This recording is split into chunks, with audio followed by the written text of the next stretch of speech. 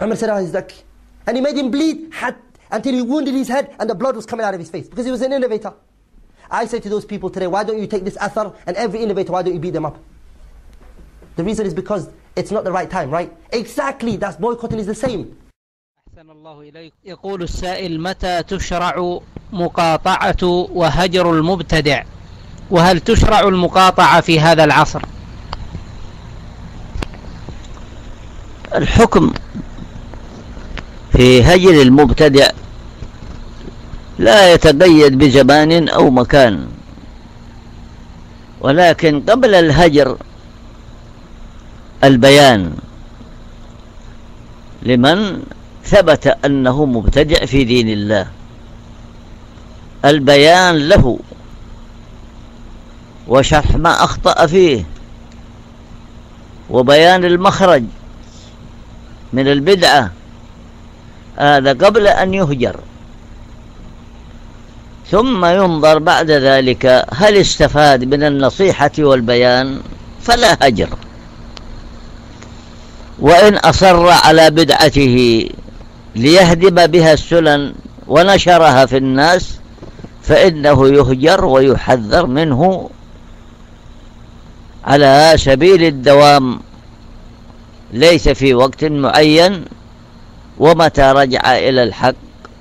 قبل منه وترك هجره كما هي طريقة أهل العلم الذين ينصرون السنة وينشرونها ويبينون خطأ البدعة والمبتدعين ويحذرون منها ومن أهلها وكتب العلم مملوءة من ذلك. And I give you the same example. Ali ibn Abi Talib, a man asked him about the same thing, the same shubha. He brought ayat which were mutashabihat. Ali was sitting one day and he said to the people, Man who wants to ask me a question? Who has a question? Ali ibn Abi Talib, a man stood up and he said, I have a question. And then he asked the question. Ali was shocked about the question he asked because it was from the ayat that were mutashabihat. Ali didn't stand up and get a stick and beat him up. Because Ali's time was not time of what? What did Ali do? He said, قَتْ قَاتَلَهُمْ May Allah kill you. That's all he could do. That's his power now. He just can curse him.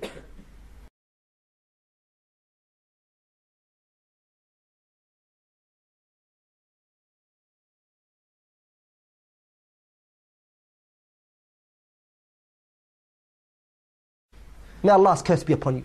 May Allah's curse be upon you. This is what we're saying. The Sahabas were looking at the time and the place.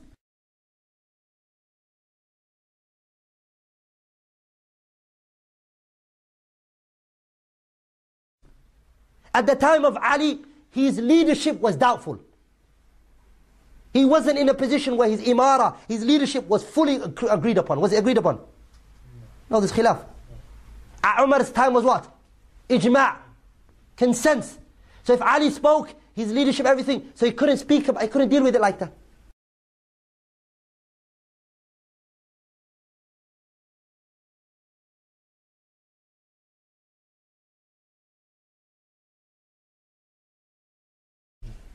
We say the same thing, brothers. When the boycott is a hal, it's a situation, it can be dealt with, it can be natija to the religion, please, we're the first to do with you guys, wallah. But when it's not going to work, and boycotting the people is not going to work, then we're going to go to them in their houses, we're going to call them, we're going to bring them to our gatherings, we're going to give them da'wah for them to deal with what they're upon. Why? مراعاة المصالح والمفاسد. To look at the masalih and the mafasid. بعض الإخوة يقول لا يجوز هجر المبتدع هجرا تعجيريا إلا إذا كان هناك مصلحة وإلا فلا يجوز. بعكس الهجر الوقائي فإنه يجوز يجوز لكل أحد لأنه سيبدو نفسه من الشبه. كما رأيت بهذا؟ الأطفال هم الذين يحددون المصالح والمفاسد. من مصلحة طالب العلم الصغير مصلحته تكمن في الفرار من أهل البدع.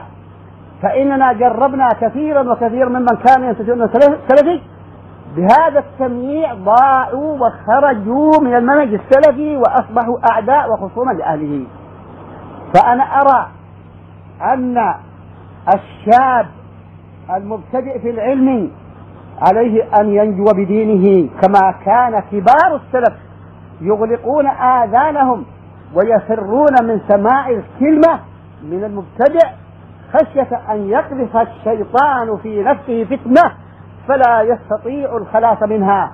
ومن هؤلاء النبلاء العلماء الفضلاء أيوب السختياني وابن سيرين وأمثالهم. وهنا كتاب إن شاء الله يصلكم.